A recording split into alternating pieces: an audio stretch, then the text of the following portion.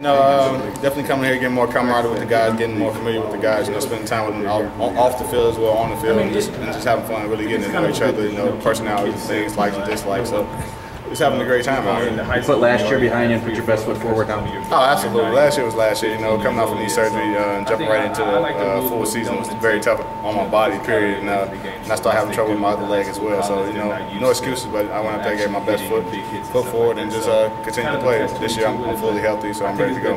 What are your expectations for this time of year, Ray? And you know, going ahead with the season now that you feel a little bit better and, and have had the surgery and everything.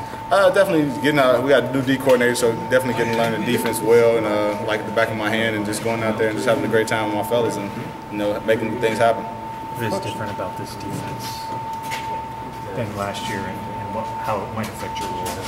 Uh, it's actually nothing different. It's a, it's a lot better. Uh, towards uh, you know, it's more us up front attacking, attacking, attacking, not dropping back in cover. So that's the more plus thing that, about this defense, and you know, letting our back end play the way they play. How does the defense kind of cater to your strengths? Like I said, let me go. Let me. I came from a defense in Minnesota where you know, you, no matter we just rush the front four and uh, let the back end do their job, and I think that's what this defense is more geared to with Mike Miller. All right, guys. Great. Thank you. Ray. Appreciate it. Got one more.